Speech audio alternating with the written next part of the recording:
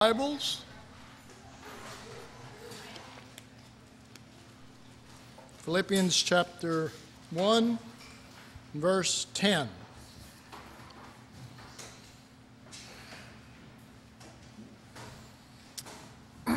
Um, I may have to go pretty quick on this class because we've got several different people that come here and you know, we may need to try to get out on time, so that may cut some of our classes short. Verse 10, notice it's a semicolon after the last verse, so uh, there's, there's an ongoing reality that's taking place here. so let's just read verse 10. That you may approve things that are excellent, that you may be sincere and without offense till the day of Christ. And let's go ahead and read verse 11 in faith. Being filled with the fruits of righteousness which are by Jesus Christ unto the glory and praise of God. so, the again, we found in, in verse 9 that he brought up the subject of love, but it wasn't out of the blue. It wasn't just some Christian theme that he decided to bring up. It's, it was a literal um, uh, reference to Paul's self giving in Philippi when he went to jail, when he went into suffering for that church and, to, and, and believed in life out of death. And therefore, he embraced the um, accusations. He embraced those things because he believed that they, they would lead literally to something greater if he had the right spirit, which was the Spirit of Christ. and so, likewise, in verse 10, um, that you may approve things that are excellent. That's not just some sort of a random statement either. That is totally along the line of everything that he's been saying up to this point. What has he been saying?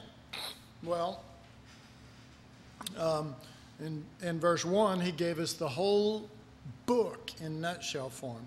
Verse 2 through 6, he was showing shall I say, important ways of relating to the Lord through prayer, through thanksgiving, through Him giving us peace, and all these this sort of things. But now He's making a reference to things that are excellent, things that are uh, not just important or godly. Um, I, you know, I don't want to just pass it over. I want us to realize that for, for Paul, these things that he's talking about are not just his theology. Everything that he's mentioned up to this point that pertained to him was literal confrontation with trials and, and decision making on his part whether he was going to go with what he felt was more excellent or go with uh, simple or, or basic Christian you know, concepts or go with his own flesh and react and run. Paul looked at these circumstances and, and the way to, to traverse through them as the more excellent way. And he did. He did. He clearly did. And for him to bring up the things that are more excellent, again, is not some random concept or for us to, to, as we read it, think of the things that we think would be more excellent and then to focus on that. No, it's the specifics of what he has already confirmed to us what he feels is more excellent. And, and it's not even what Paul feels, although clearly Paul held it, uh, this way of approach, as more excellent. But as described over, in, and we can turn there, we don't want to spend a lot of time there, but keep your place in Philippians. But over in uh, 1 Corinthians 13, to grasp that for Paul, this, this thing that is more excellent, he's going, to, he's going to spell it out in this chapter too. He's going to do that. Um, let's see, uh, we have to go back to uh, 12, the last verse in chapter 12. But covet earnestly the best gifts, and yet show I unto you a more excellent way. All right. Now you know he's going to be speaking of love. You do know he's going to be speaking of self giving. Though I speak with the tongue of men and angels and have not love, I am become a sounding brass and tinkling cymbal. All right. What is he referring to? He has spent much of the 12th chapter, and particularly the last half, he spent um, talking about gifts of the Spirit um, and how there are different offices and different gifts and different uh, uh, administrations and this sort of thing. And when you go to the average Christian church, uh, especially spirit filled churches, they will put a lot of emphasis on the gifts of the Spirit. Okay? Now, let me make make it absolutely clear. I believe in the gifts of the Spirit. I have no problem with the gifts of the Spirit. I'm not Baptist. I, you know, I, they're in the Word of God. If it's in the Word of God, I want to believe it. Okay? Paul has spent this last chapter talking about their importance. He put it in the Bible. But let us notice as he leaves the subject, he builds a bridge to what is important to what is more excellent. But covet earnestly the best gifts, and yet show I unto you a more excellent way. He is not going to contrast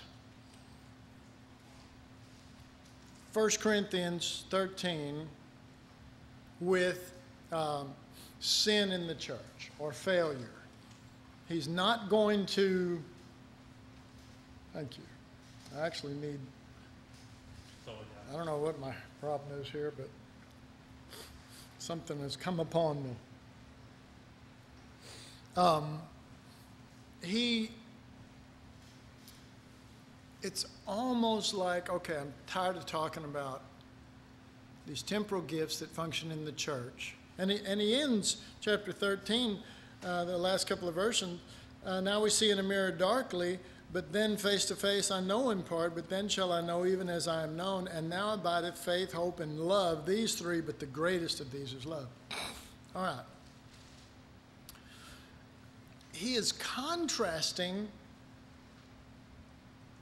uh, being able to suffer long with being able to function by the Spirit a, by a gift in the church.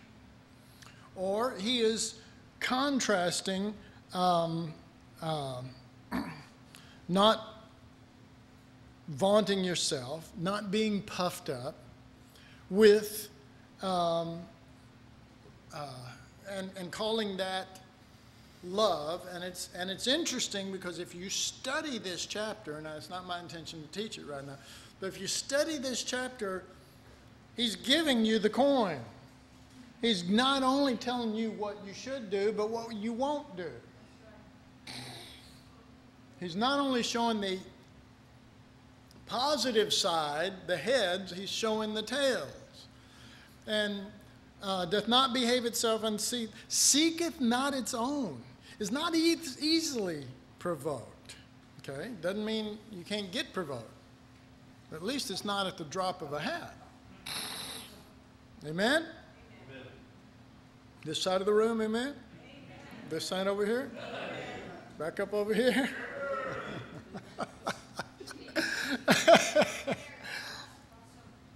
what?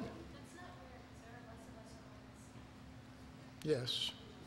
Well, we know where the real problems are coming from. All right. So he's contrasting um,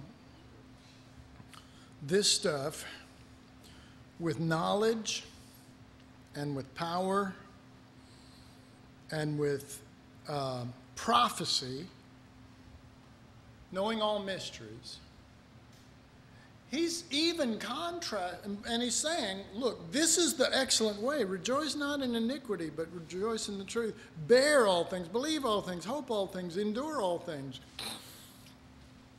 Folks, he's saying this is the excellent way. This is it. But it's not, please don't read this that it's talking about what I call sloppy agape. It's not talking about just running around hugging everybody and, and feeling, you know, so close and warm, everything. And, you know, you can take ecstasy and feel that. Well, you can. Yeah, it, it makes you feel more apart. Um, not that I would know. Um, but he's saying if you have the gift of prophecy, if you understand all mysteries, my God, who among us knows all mysteries? You know? Well, I know one man, but other than.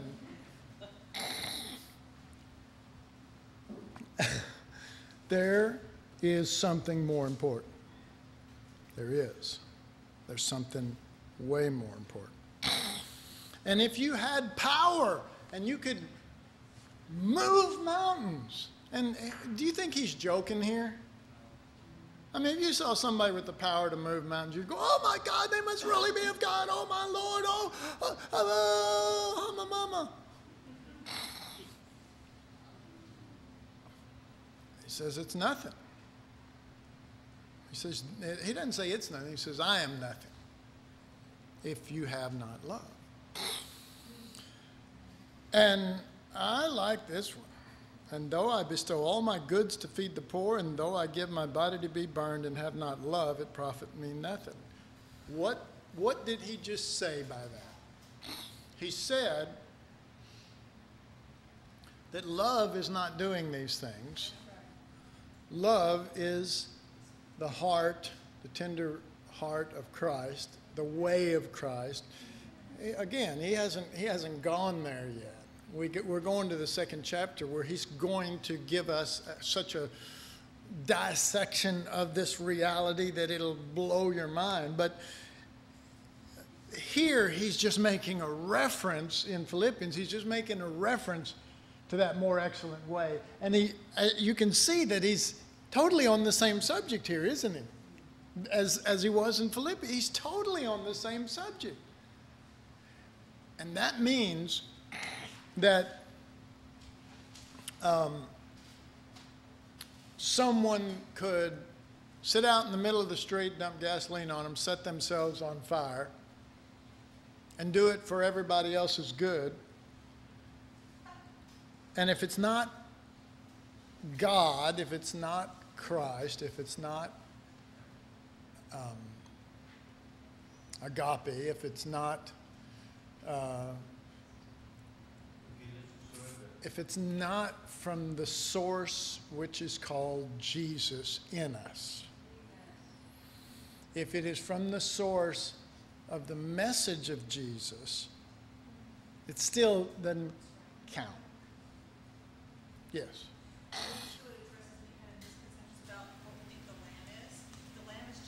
Yeah. Self, sacrifice, sacrifice, mm-hmm. sacrifice. In our minds, when it's wrong, that's the wrong view.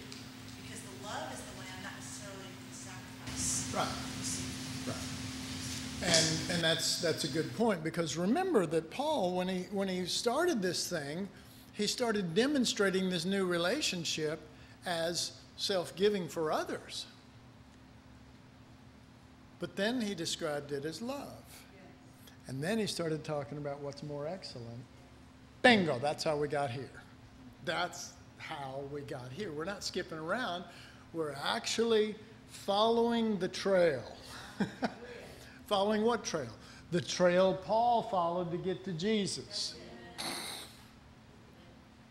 You know? And so um, he, he says, he says, look, you're not going to know all mysteries because we know in part. You're not going to be able to prophesy every deep thing or every, you know, whatever, however you, you, you call prophecy in your particular bent. uh, um, that it's going to fail. Um, they shall be done away, he says. Okay. Okay. Then he's saying miracles are wonderful, but they're going to be done away. He's saying prophecy is great, but it's going to be done away. But wait a minute. He's not just talking in general that it's going to be done away someday. He's talking about the coming of what's not in part. Do you understand? He's talking about the, the more excellent thing, sh- you know, overshadowing, but also shining through. You, you understand? In other words, um, in, in, you know, increase more in love more and more, uh, or let love increase more and more in your knowledge, in your discernment, in your judgment. Let this Spirit guide all things that you have from God. Is that what it's saying, or am I just twisting the scriptures here? I mean, if that's what it's saying, then we have to realize, uh, for we know in part, we prophesy in part, but when that which is perfect has come, that which is in part is done away. Okay? What is that which is perfect? Folks, it's what he's been talking about in the verses above. Love doesn't do this. Love does do this. Love doesn't do this. Love does do this. And then he says um, that w- there's something coming in the church. See, we're wanting the Lord to come for the church. But Paul's wanting something to come in the church, and it's Jesus. That's the reality of it.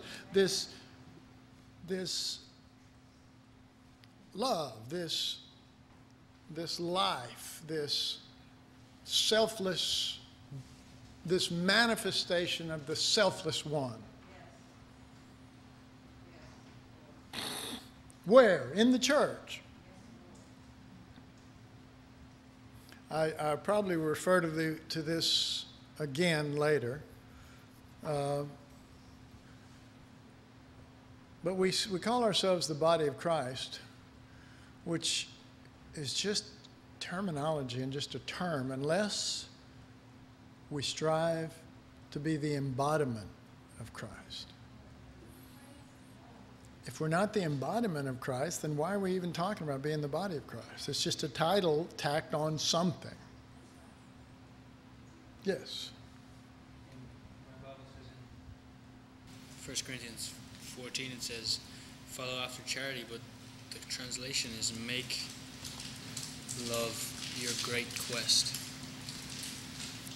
Is that how it's translated? on the back. What, what But translation? it's uh, Royal Berkeley version. You know the little Gideon's Bible you get? English. Make love your great quest. All right. Now, see, I, I, I walk a tightrope here because without, you know, you, you remember Jesus rose from the dead and he said, Look, look at my hands, all this. But you also remember at a certain point he breathed on them. You know, it's like Okay, I'm showing, I'm talking, da da da da. Okay, here. Let what's in me come in you. you know what I mean? Let the breath of life come in you, dead people. No, I'm not talking to you. I'm talking to, about Jesus and the disciples. And a few over here and one over here. but that, that, um, that picture that we get of Jesus not satisfied that he rose from the dead, not satisfied that they're all saved, not satisfied that the sin question is over, not satisfied that they're following him uh, now in a new way, breathing on them. You know, we say, and, and what did he say when he, he did that? Well, I think he said, Receive ye the Spirit, but the point being, the point being that it's an impartation of what is God, not what is of God, but what is God. One of the reasons why we're doing this Philippians class is, and you should pray, you should pray for me, you should pray for us, is that our minds only comprehend what we already comprehend, but our spirit can receive something beyond that. I mean, it can. And it doesn't have to do it in here. It can, you can be driving home or walking or da da da da and go, and the Holy Spirit, you know, just go ding, you go, oh my God. You know, let's not make this another class. You know, how many of you have been in a class that you said, that was really good? How, you know, that class was great. And then you say, okay, write me a thesis on it. Go, why? I remember one sentence. Well, that, and I, I really have no problem with that. If the Holy Spirit breaks one sentence to you, that's all that really matters. But I'm just saying, wouldn't you like more than a sentence? and I believe, I honestly believe, that this, this thing that the Lord wants me to share in chapter 2 that we're preparing for, that it's not what we think it is. It's not just being nice, for God's sake. it's not, you know, uh, it is Jesus in the way that he wants to manifest. And that's only true because of the cross. To have dealt with us so that he's, his, his hands are no longer nailed, his feet are no longer nailed. We're, as it were, nailed. You know? our hands and our feet so that he can do what he wants to do. and we join him with in the cross. all right. So I don't like I said, I don't want to make a big deal out of all that, but let's go back to Philippians.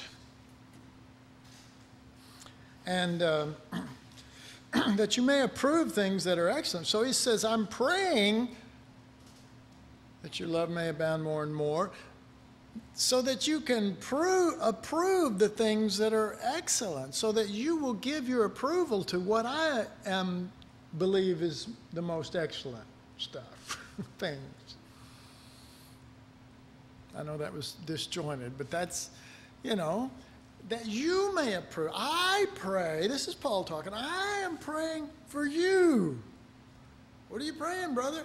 I'm praying for this love, this more excellent way to abound more and more in you in your judgments and in your knowledge and in your approach, so that you may approve, you give your approval to, that you give the recognition due to it that I have because I believe with all my heart, I'm, ta- I'm talking as Paul here, that this is not just something we do, it's a way. and it's a more excellent way. And the other is a way.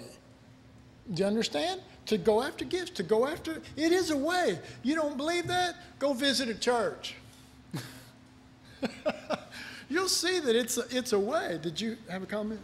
I would just say that, you know, I personally have visited a lot of churches, and yeah, I've seen they can take their point of view and, and slant it, Sure. and uh, that's been a lot. But in, in here, I mean, don't you really think that he, he's wanting you to use love and love may abound more past your knowledge and your judgment, and then he comes right here again and he hits you with it that you will see the things that are excellent and you'll be without offense, that you won't be offended by someone else's behavior. You're Right. just going to deal with God on your own plane. Or offending them with your Or behavior. offending them with your behavior, correct? And I, and see, I, I believe that this is the way to unity, but we, we won't see that until we get into the second chapter, how clearly Paul is making that declaration. Right now, it's there, you see it, many of you see it, but what's the point of seeing it if there's a, if there's a whole way to it and we've never embraced the way of it, only, you know, the truth of it, or, or, or it's just a subject among many subjects. You know, and we, we value it depending on, could I say it? We, we may value it depending on our selfishness. Well, I know, but I'm trying to be, I'm trying to be nice. Yeah, it's pretty rare, so enjoy it.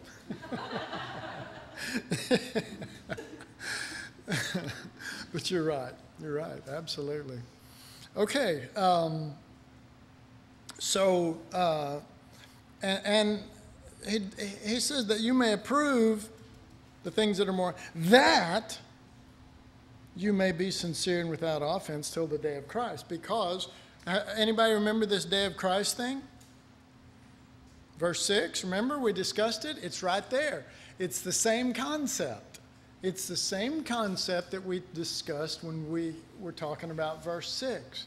And that is that the day of Christ is not the same thing as the day of the Lord. The day of the Lord is the judgment. The day of the Lord is the cross. Uh, if you really want to study it out, if you really want to study it out, find out where the New Testament uh, wording for that came from, get in the Old Testament, and you'll eventually arrive at the fact that the day of the Lord, or the day, was the day of atonement. But you see, we misread the day of atonement. It's the day my sins were washed away. I got news for you. More happened at the cross than your sins got washed away. You got washed away. if you understand what I'm in, in a flood of blood. No, no, no. You you died at Calvary. Pretty good saying there, huh? so this is that. This is uh, finding this more excellent way and arriving, if you will, at the day of Christ, or the day of Jesus Christ, where He's the light, He's the life of that day, He's the reality. The day uh, dawn, the day star has risen, it has dawned, and when that reality comes, when till we all come, and we haven't all yet come in that in the fullness of what it's talking about there, it will be all coming to the fullness of the measure of the stature of Christ, which is us being his body. And you read it, you read it in Ephesians. That's what it's talking about. And it'll start talking about the body and every member supplying instead of taking. And this reality of, of Christ actually embodying us, Christ actually not not by his miracles and stuff like that, because remember 1 Corinthians 13 says, you know, when this day comes, when this reality comes, you know, you know, it's like all of this reality that we're talking about, knowledge and all mysteries and, and prophecies and, and gifts and able to move mountains, he calls that a glass darkly. I mean, think about it. I mean, this is what the churches are touting. This is what it's about. And everybody's jumping. Yeah, this is, this is what it's about. Well, no, it's of God. It's a blessing. It's sweet and it's, it's certainly good when you're a brand new Christian, but it's not what it's all about. This day is what it's all about till we all come not to salvation or to heaven, to the measure there's a measure by which you'll be measured of the st- stature of the fullness of Christ. And the fullness of Christ, folks, if you read it, it's, uh, it's the body, it's Christ in the body. I mean, that's what it is. The fullness is Christ in the body. And he says that over in Ephesians several, at least three different places where he talks about being filled full. But he's not talking about the Holy Ghost. Isn't that funny that it, I mean, so many things that we have embraced or said or, or, or you know, and, and again, I'm not saying they're not important.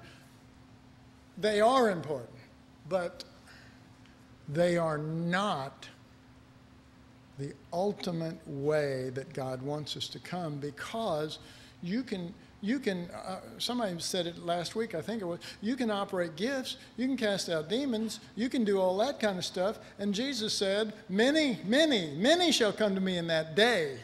Many shall come to me in that day. Well, what is that going to be, a Wednesday? No, that day is when his body is formed. And he will say, I, they will say, Lord, Lord, didn't we da da da da? And he say, I never knew you because he knows you as his body. He knows you as his bride. He knows you in oneness. He doesn't know you by uh, shadow ministries, glass darkly ministries.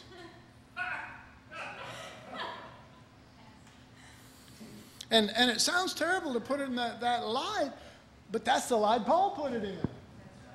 And he says, well, when this comes, that'll all pass away. And this is going to be what it's about. Well, I mean, wouldn't it be sad? Wouldn't, wouldn't it be terrible to be one among many who arrive at that day but don't arrive with the wedding garment on? You know, the marriage outfit. Meaning what? That we're one and saying, Well, didn't we do this? Didn't we? And he's going, Look, I don't even know you in, in this realm. I know you in another realm. I know you by another way, and that way has, we can say it in two different ways. That way has come because we are now, beloved, now we are the sons of God, but it doth not yet appear what we shall be. Isn't that? See, there's in Philippi, or, or at Philippi, and in Son. Do you see it? Remember? That's our, was our verse 1? Or, yeah, it's verse 1. See, we got into all of that. The difference of being at Philippi or in Christ Jesus and walking at Philippi, meaning as part of the church, and because he called them saints at Philippi, as part of the church at Philippi, but not the church, the embodiment of Christ. Huh. I mean, that just, that just, that just sends shivers through me. I mean, I don't want to be there. I don't want Jesus saying, Well, I don't know you. No, you, oh, no, no, man, you know me. Don't you remember? I went on that short term missions trip, you know, when I was like 16. And yeah, I know I'm 60 now, but I mean, it was fun. I never knew you. Oh, no, we went out and we prayed for people. Never knew you. You, you, you see what I'm saying? None of this is a condemnation of other churches. None of this, all of this is what Paul is saying. Okay? This isn't Randy. I didn't, I'm not making these things up. I'm, I'm telling you what the scriptures say. You know, when I was in uh, that kind of a church, I loved it. I loved dancing around. I loved the miracles, and I loved seeing new people saved all the time. And I, I just loved it. I loved it. I loved it. But then God starts showing you, you know, there's a, there's a way. And that doesn't mean you can't be in those gatherings and walking in the more excellent way either. See, I, there's so many bases I can cover here. You know, in other words, and again, I'm not condemning anybody because there's, I believe, and this is my belief, I believe they're saved in every denomination, in every kind of church, including ones that you would say, well, they couldn't be. I think people actually meet God, and maybe their relative or husband or wife or someone's going to a certain church and they are gathering that's, you know, and they have met the Lord. I believe that somebody can be in the darkest regions of the Amazon, God touched their heart, you know, and come to know the living God and begin to express this excellent way towards those that are around them. I mean, so I'm not limiting God on any of these fronts, but I am saying there's a reality that we all must come to. Not that there's a problem with other churches. The reality we must come to is there is a way, an excellent way. And God, by Paul, is talking to the ones that are dealing with the Glass Darkly ministries and trying to get them over to his. Do you, do you see that? Okay. Do you think I covered all the bases and I won't get in any trouble over any of this? Okay. Just checking. Just, just thought I'd check. okay, we got to, golly, man, what do we got? Five minutes? Uh, you know, seven minutes? Um, uh, let's go to verse 11. Being filled with the fruits of righteousness which are by Jesus Christ unto the glory and praise of God. Two things in this scripture. One is God wants you filled. Amen? God wants you filled. Yes, He does. You say, Amen. Yeah. well, I, I'm not opposed to being filled with the Holy Spirit. The Bible talks about that. The Bible even talks about people that are filled with the Holy Spirit getting refilled. Did you know that? God gives free refills. Well, you know, some places like Ireland, they don't. God does. we need Jesus.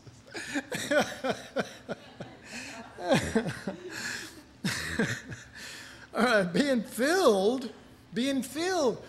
Take it seriously. Take it, I mean, look at that and go, oh my God, I want to be filled. He's, he's wanting me. But notice he didn't say be filled, he said being. This is, ing means an ongoing process. Amen?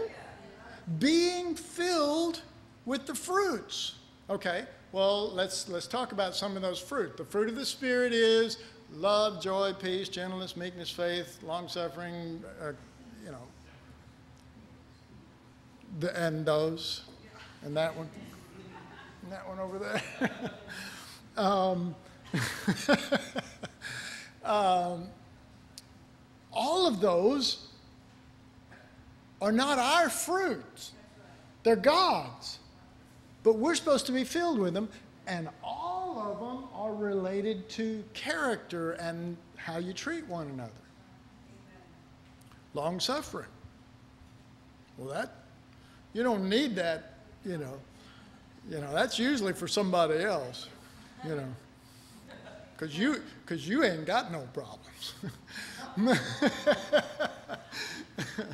but love is the first one, and it goes on down. Well, this is being absolutely clear. He wants you being filled with this on an ongoing thing, and he describes them not just as the fruits, the fruits of righteousness, yes, but notice he uses fruits of righteousness, so I don't think it's the fruit of righteousness, meaning like the fruit of the Spirit. The, he doesn't say the fruits of the Spirit, he says the fruit of the Spirit is love, joy, peace, gentleness, meekness. But here he's saying the fruits of righteousness.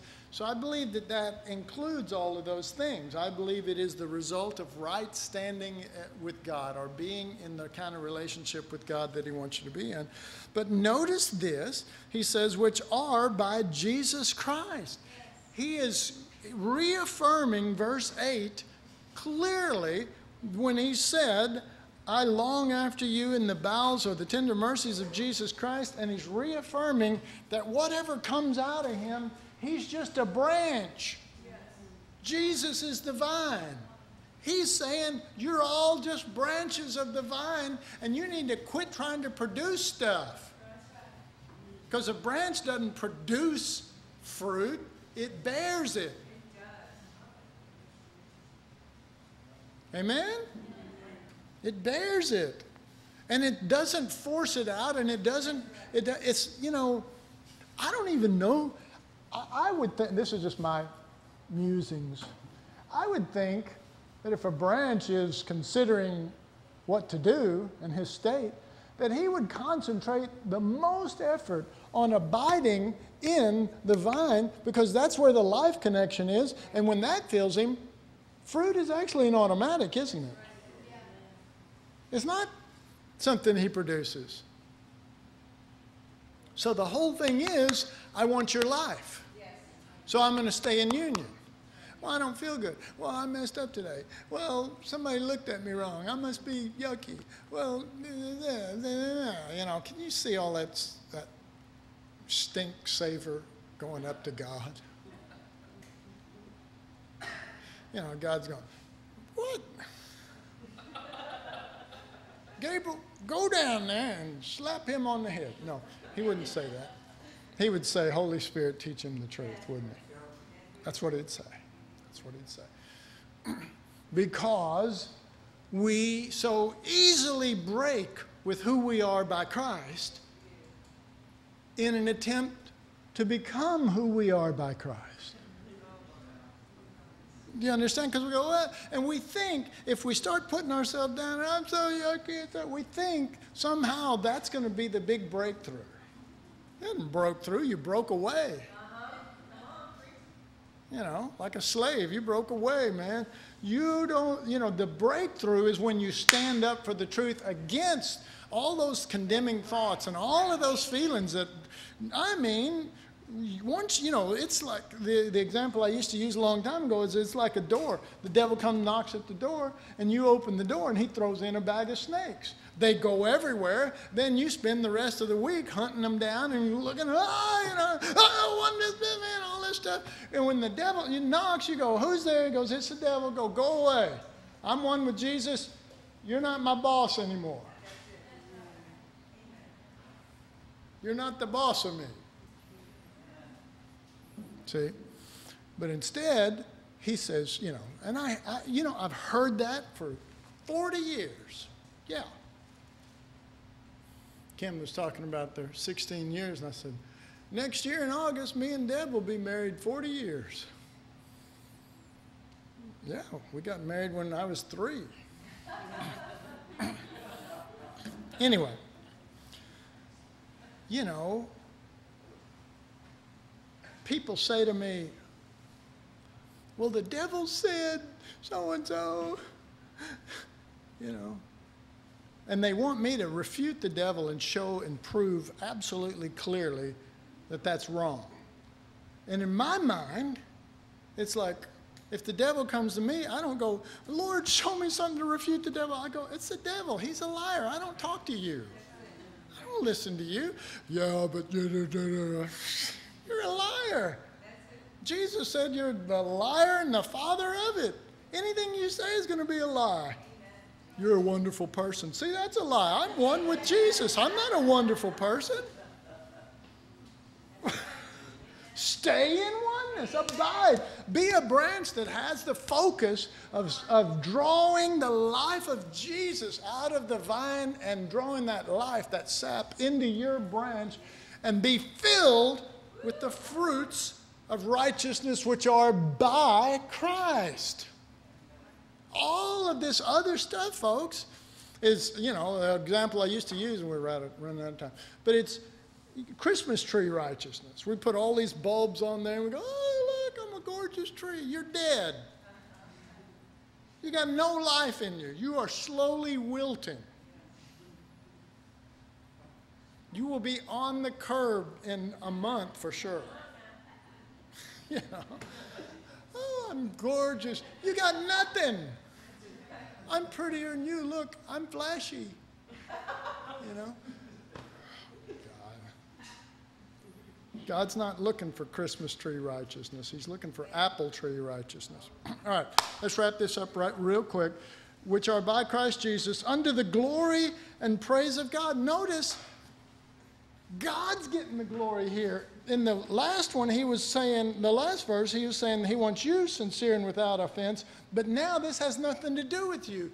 You're, you're allowing this reality of Christ to come out of you because you know the Father wants Jesus and is glorified by Jesus. Do you see it? That's what it's saying. Which are by Jesus Christ unto. Anything that's by Jesus Christ is unto. If it's by, it's unto. If it's by Christ, it's unto who? The Father. Right? If something comes through you by Christ, the Father's glorified by the Son. And therefore, and in closing, and as we wrap, as we call it a wrap, the Father is not working hard on you except to that it be Christ in you. He wants the Son. He doesn't want you. He wants the Son. You go, He doesn't want me. Well, He wants you one with Christ, but He don't want you. You know, because you were meant for crucifixion. You were meant to be crucified so that you could be a container of Christ, so that the Father would be glorified.